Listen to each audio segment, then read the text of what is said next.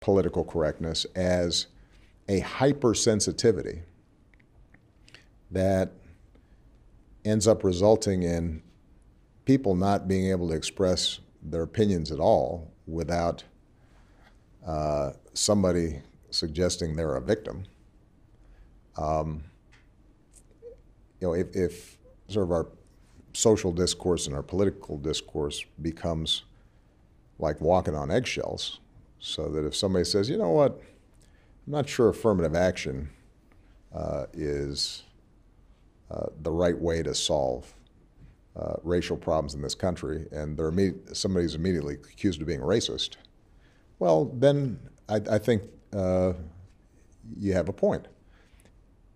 Although I happen to approve of affirmative action, but I think that I can have a polite dialogue with somebody who, who differs from me on that issue.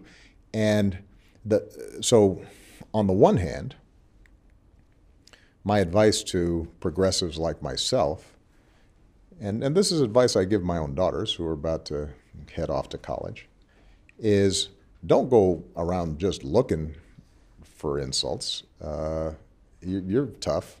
If somebody says something you don't agree with, just you know, engage them on uh, their ideas, but you don't have to feel that somehow because you're a black woman that you're being assaulted.